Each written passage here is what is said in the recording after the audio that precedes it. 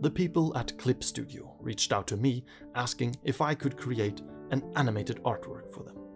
I love working in Clip Studio Paint, so getting to collaborate with them and have them be the sponsor of this video is definitely exciting. I want to explore animating water this time around, so let me take you along as I do so.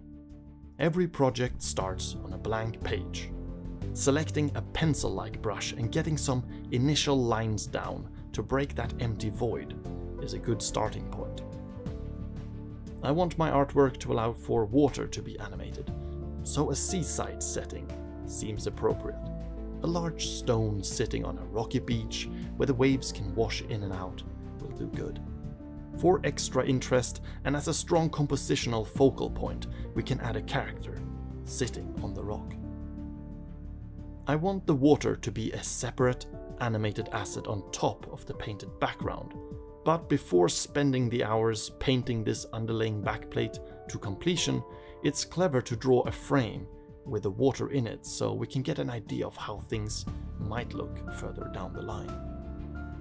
The sketch was drawn using a brush called Real Pencil, but now when applying color, I've moved over to Clip Studio's oil brushes.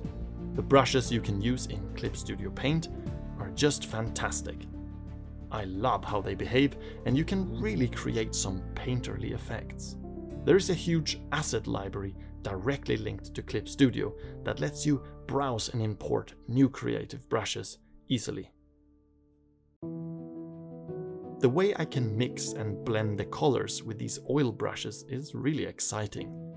They leave a slight canvas texture when applied thin, which I truly enjoy. It's a very well designed brush that feels incredibly natural and not artificial, even though we are working digital here. Definitely a new favorite brush for me. I jump around the canvas, painting whatever catches my interest. This way I slowly bring the whole image up to completion. I don't need to render everything with the same amount of detail. A lack of details using a more suggestive but still deliberate application of paint can create a sense of depth. We can then focus on details where we want the viewer's eye to land. Painting always takes time, but let's move on to the real time-consuming process, animation. Again, let's make sure we know what we're aiming for. Here I've roughly painted a frame of what the water could look like. The animation tools in Clip Studio Paint are so well made that even if you're very new to animation, you will quickly be able to pick it up and get on with creating your own moving images. For animation, you first want to create a new animation folder, which will host all your frames. Then you can create new blank frames as you move down the timeline. You can easily shuffle these around and extend them if needed, so there's no wrong way to start. I want to begin by focusing on the general movement of the wave, washing in and out. To keep things simple, we can begin using only the blue color of the water to describe the motion.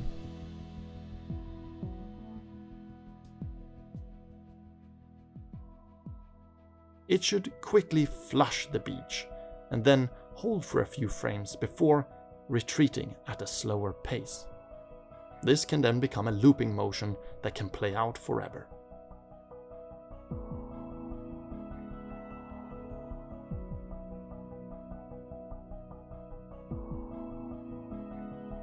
I can lower the opacity of the blue color, showing some of the background below the surface. I try to imagine the topography of the image below. It's not just a smooth slope. There are a lot of rocks and peaks and valleys in the beach surface that would appear at different times as the water level drops.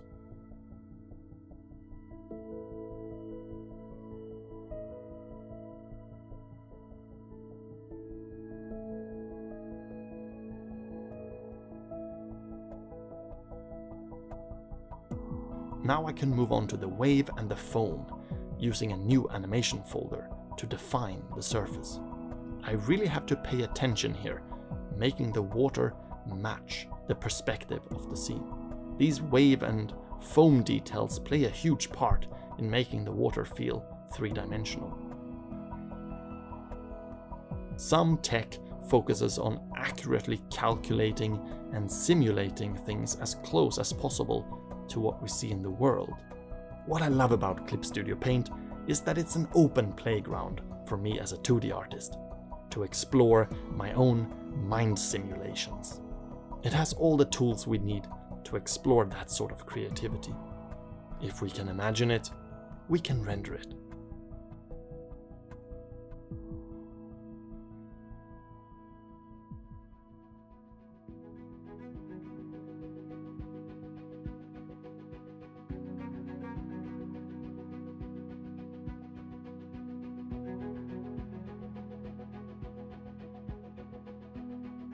I've now been battling this water animation for a good while. A few tides has come and gone, and with all its challenges, I'm slowly getting there. It's time to put my focus on the character. I like the early sketch I started with, so let's clean that up so we can see what a final frame might look like.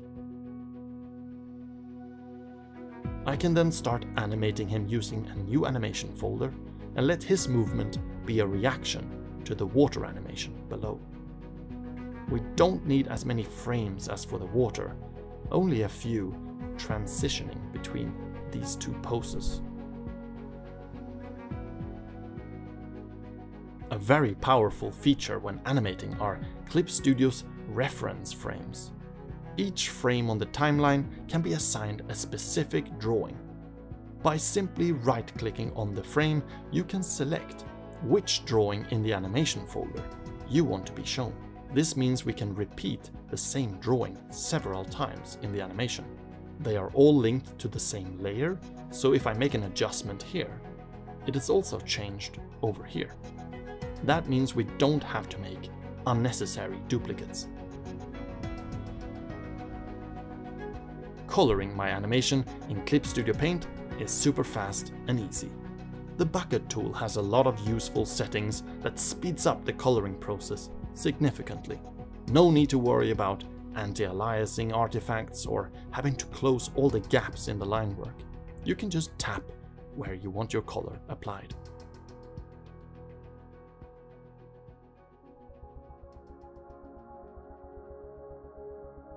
This artwork is now made up of a few layers. We have the painted background at the bottom, Above that sits the character split up into three animated layers outlines, colors, and shading. On the very top, we have the water, also in three animated layers.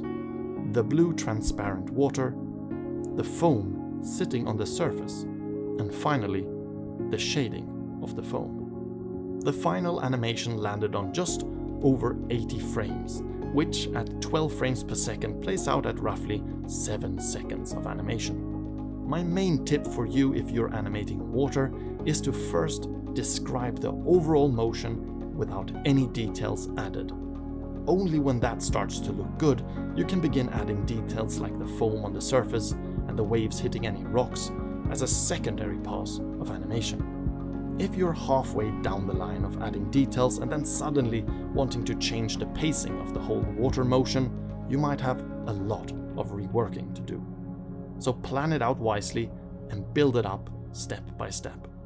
Clip Studio Paint is a fantastic software that covers it all. You have incredible tools for creating paintings and illustrations, as well as the best animation timeline I've come across. I can't stress enough how much I enjoy working in this software. Whether you're a beginner or a professional, I highly recommend you check out Clip Studio Paint. You can download it and try it for yourself using their free trial. I hope you have enjoyed this video. You can check out my Patreon page for more in-depth tutorials, as well as join a very nice and talented community of animators and artists over there. Subscribe here on YouTube to help this channel grow, and I will see you next time. 拜。